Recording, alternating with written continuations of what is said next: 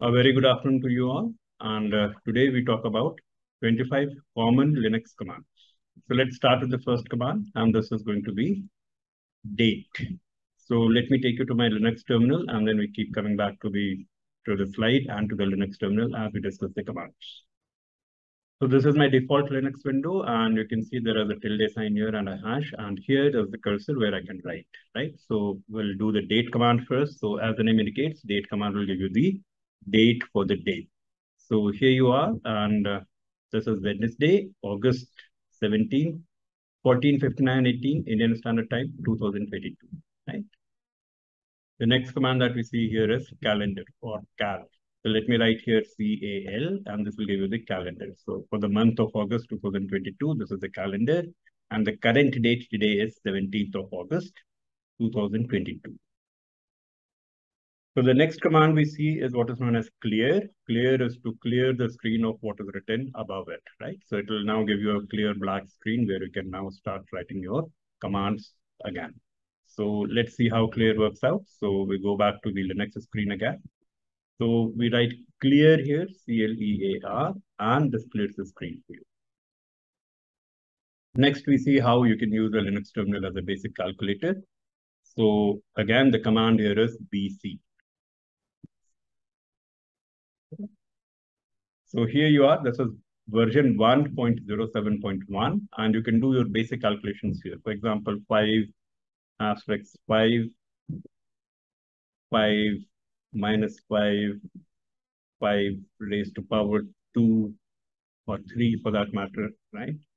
Then 125 raised to power 2 again. So you can do all type of basic calculations using BC. And the way to come out of the uh, basic calculator is by typing quit, Q-U-I-T. Here you are, right?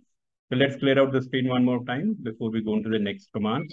So next we see a series of commands that allow you to uh, check where is where is which is the current directory where you're located. Also, it allows you to change the directory and move to other directories. So let's have a look at these commands. So we'll look at pwd, we'll look at cd, and we'll look at ls. So now we talk of uh, a set of commands that help you move into the folders and subfolders of the system. So let's say we want to know which directory I am in as of now. So I'll say pwd or present working directory. The present working directory is mntf. I'm in the F hard disk of my system. Uh, I'm logged into Ubuntu. So in Ubuntu, you have this mnt folder into which your hard disk gets uh, uploaded. So therefore, this is F in mnt folder, right? So I can say ls and ls will give you the names of files and folders that are present in this hard disk F, right? So if you see here, ls, and here you are, you have your folders here and you have your files here, right? So if I were to show you in the actual system here, so this is my F drive here. This is my F drive. So these are the list of folders that you're seeing up there. And let's say genome analysis. If you see, this is a folder here, genome analysis. And if you go back to the terminal, you should have a folder called genome analysis. So here you are, this one is genome analysis, right? So likewise, other files and everything are present here. Now, let's say I want to get into a subfolder into this. So let's say you want to get into NGS folder, which is the simplest to type here. So I say CD and I say NGS. Right? So I'm into the NGS folder. If I want to see what are the contents of NGS folder, I can say ls.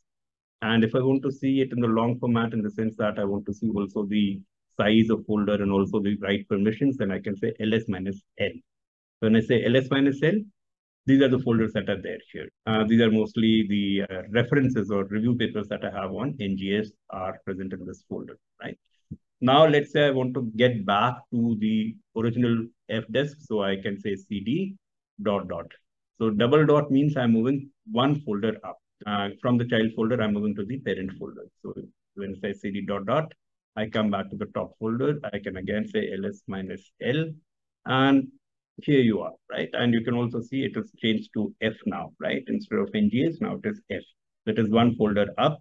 And uh, uh, you can say ls minus l, sorry for the typo, and you'll get your list of folders that are present in this folder here, right? Then, of course, uh, you can go back again and you can clear this thing. So you say C-L-E-A-R and you are cleared out of everything, right? So we have done cd, cd dot dot, and then of course we've also done uh, uh, ls and ls minus l, right? So ls will give you the names of the files and folders. ls minus l will give you further details of each file and folder, what are the write permissions, what is the size, and so on and so forth. So we started with checking the present working directory, and then we checked for cd or change directory. Then we talked of cd dot dot, which is to move to one folder up. And then we also talked of ls and ls minus l, which is to have a list of uh, folders and files in your current uh, directory that you are. And this also gives you additional information on when it was created and what is the size of the folder that you have. Then you could have ls minus a. If you want to see the hidden files and folders, you could do ls minus a. So here you are, ls minus a will also show you your hidden files and folders. So, so this one here is a hidden folder and this one is a hidden file dot dot. So these two are also now visible to you right? So let's clear this out and we talk more about other commands.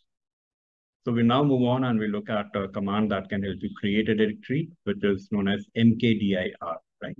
I remember we are in mntf, right? So if I want to create a new directory, I'll say mkdir. And uh, let's say I create a directory with uh, capital letters L-I-N-X, Linux underscore C-O-M-M-A-N-D-S, right, commands. And let's enter this, right? So let me see if my F directory has Linux command folder or not. So I go to F and I refresh this and you have this folder here, Linux commands. So now we move on and we talk a little more about how to populate your uh, folder. There is nothing in the folder as of now.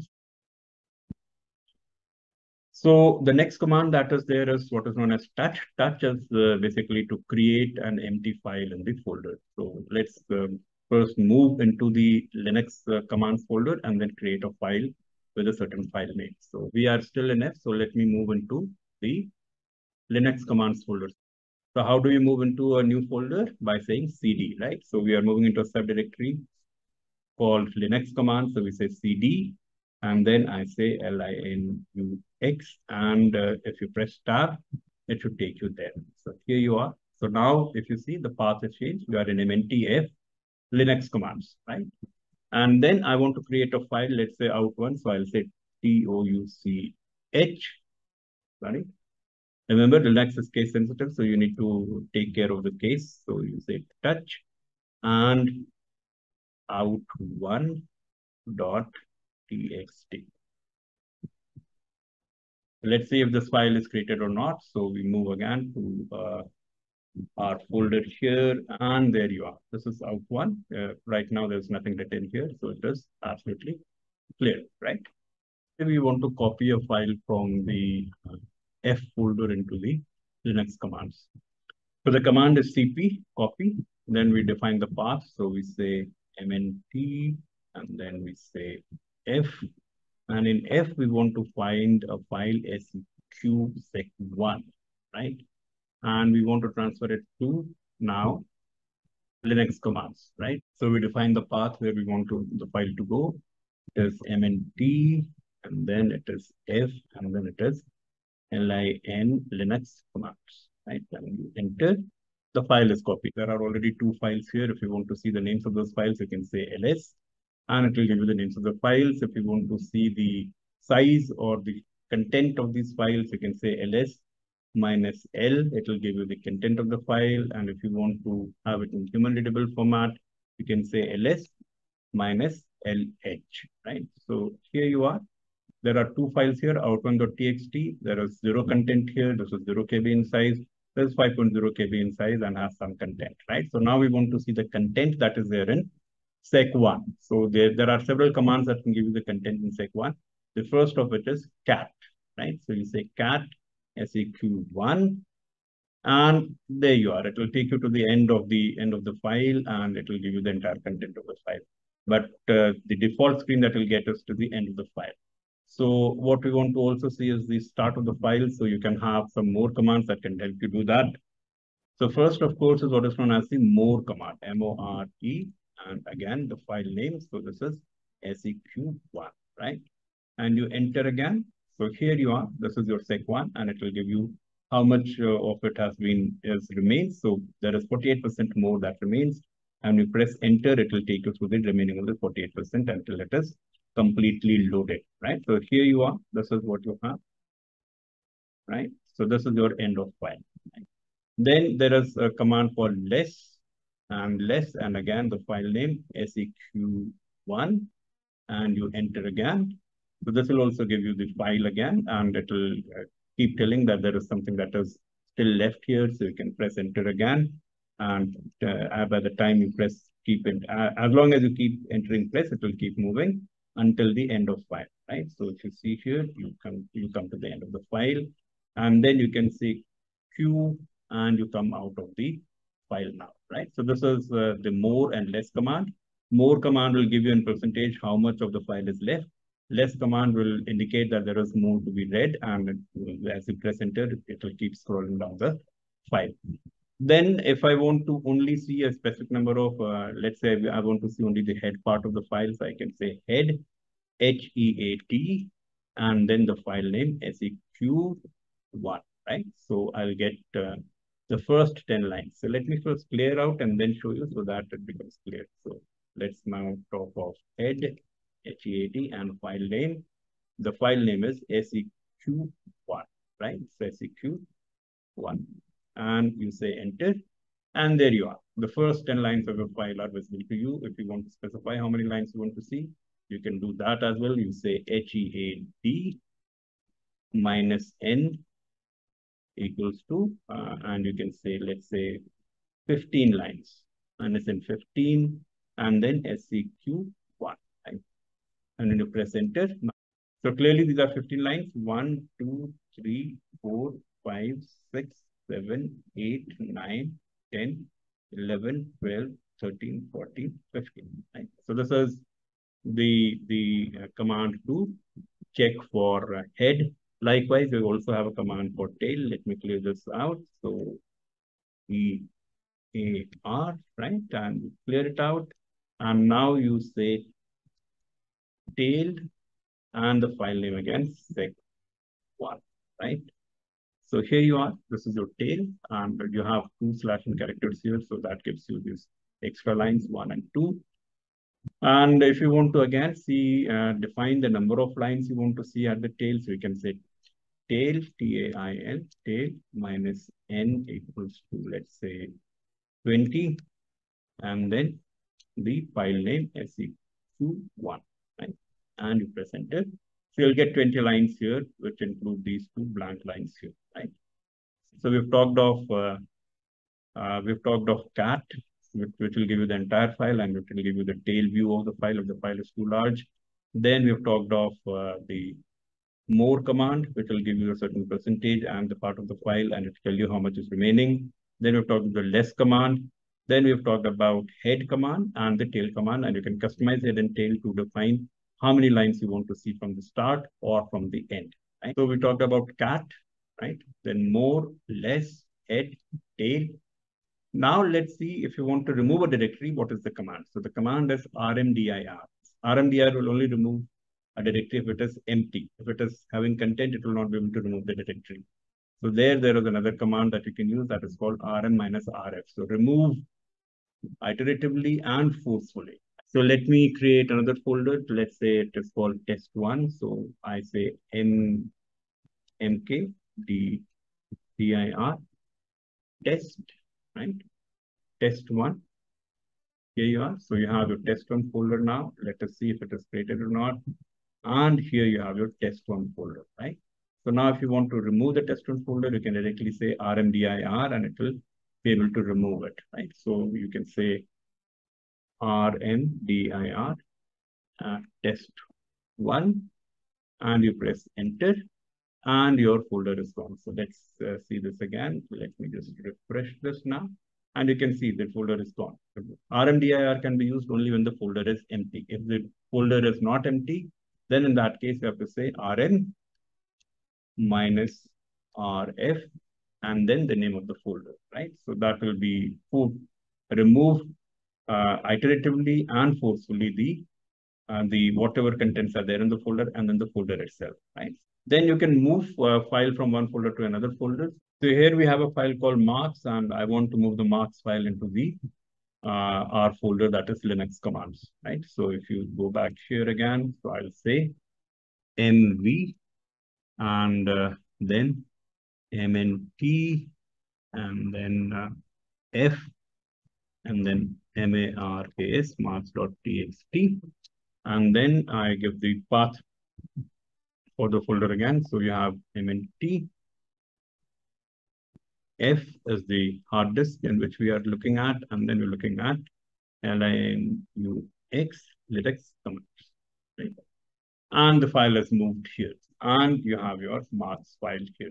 If you look at the marks here, there are five students whose marks are given in English, Math, and Science, right? Now we can have a look at what is the content of the file. So you could use either cat. So let's say cat, and uh, let's say uh, marks.txt. There you are. You could have said head marks.txt and you would still get all the lines. Tail marks.txt and likewise more marks.txt more m o r e m a r k s marks.txt and that would also work for you fine, absolutely fine, right? So let's clear this out and uh, I hope it is clear how to make a file, move a file and create a file, right? So,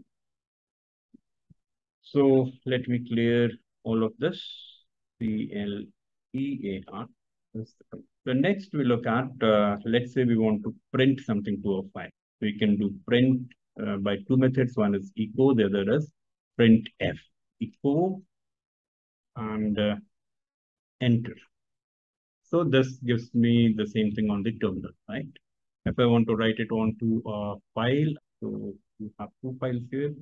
We have out1.txt, so which is an empty file if you remember. So let me write this out to the out1.txt. So I say echo, and I'm writing it to a file, and I'm writing opening the file in append mode because the file is already open, right? So double greater than sign means that you're opening the file in append mode and you're going to write out to it. So you say out1 dot txt and you press enter.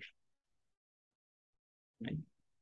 Now if you say more out1 dot txt, it should show you this is Dr. Vipin's biotechnology classroom. Right? So this is written onto the file now, and we can cross-check here also. If you go back here, this is out one, and here you have this is Dr. Vipin's biotechnology classroom, right? And you can also use print F to format your print. So I say print F, make it a little of the aspect slash N slash N as a new line, and then I say this is right? And uh, let's say you say slash n for new line, and then you also print a few more addresses, right? So this is your formatting of the print that you're doing, and you're printing it on screen first. So you say on screen. I think code C and here, and I say slash and print. So now we have a clear, this is Dr. Vipin's Biotechnology Classroom on YouTube, and you have some floated representation at the top. This is a slash n, so this begins at a new line, and then this is a slash n again.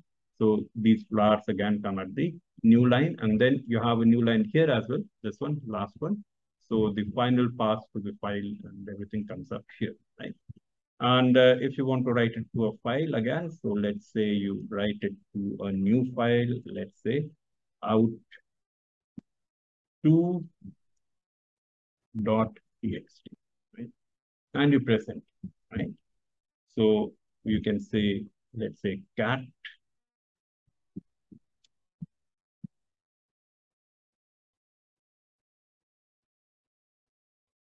And there you are. This is Dr. Vipin's Biotechnology Classroom on YouTube, right? So this is uh, how you can write into a file. So we have talked of echo and we've talked of printf. Then we talk of grep. And now we're looking at the file marks.txt, right? So let me just uh, say cat M-A-R-K-S mark.txt. Here you are. This is your marks file. Right? And uh, then if you want to know how many lines are there in the marks.txt, you could say cat marks dot txt, and then you use a pipe. So this is your pipe here. Pipe can be used to combine processes in Linux, right? So we have done cat marks.txt, and now we are trying to do, trying to count how many lines are there. So you say wc minus l. And there you are, right? So it says there are six lines, one, two, three, four, five, and six. Right? So let's have a look at the file again. So you say more and marks marks.txt. There you are. And now I want to look at the line that contains the name Riya. So I say grep, G-R-E-P, grep, R-I-Y-A. And the file name that is marks marks.txt. Here you are. So this shows up in red, and then you have the marks obtained by Riya, and the three subjects are shown up here, right? So uh, grep has its own uh, utility and, and, and a lot of switches that you can basically look at. So that would demand a complete lecture in itself. We'll do that in a later class. So, uh, but just to tell you that if you want to see what are the switches available with your main commands, you can say man and the command name. For example, man grep right? So this is basically the manual of grep is going to be shown to you here. So this should show you a whole lot of things, right? So here you are. This is your grep name. This is grep, e grep, f grep, r grep. Print lines that match a pattern. So in the in the previous example, we had given Riya as a pattern. It caught the line that contains Riya as a pattern. So grep searches for patterns in each file pattern is one or more patterns separated by new line characters and grep points prints each line that matches the pattern. So this is basically what you do with grep here and you can keep going if you want to go and uh, if you want to quit you can say Q or QUIT for right? So you say quit and you're out of it, right? So for any command that you do, uh, you can have this man page that will tell you what are the what is the function of the command and also the other switches that come with it. For example, man, and let's say H-E-A-T, head, right? So here you are, head outputs the first part of the files, and then the switches that are there, minus C, minus N. If you remember, we had done minus N to change the number of lines that is it was given by default. By default, it will be 10, but you can change the number of lines that it shows by uh, giving a value to minus n. So minus n, and then with the space, we can say 6, that will give you 6 lines, and so on and so forth, right? So this is just to give you a brief idea of uh, the commands that are there in, uh, in Linux. The df is basically the disk usage or disk free. So you say df, say df, and it will give you an idea of how much of the space is free for you, right? So this is used. C here, 95% is used. D is 116% used, E is 36% used, and F is 74% used. And there are other switches that can use a df command that give you more information, which will be outside the purview of this lecture, but we'll, if time permits, we'll do it again at some other point of time, right? So let's have a look at the commands that we've read today. So we looked into 25 Linux commands today. First was date, then we looked at calendar, then the clear command to clear the screen, then the basic calculator or BC, then the present working directory, change directory, list or ls, ls minus l, ls minus a, ls minus lh.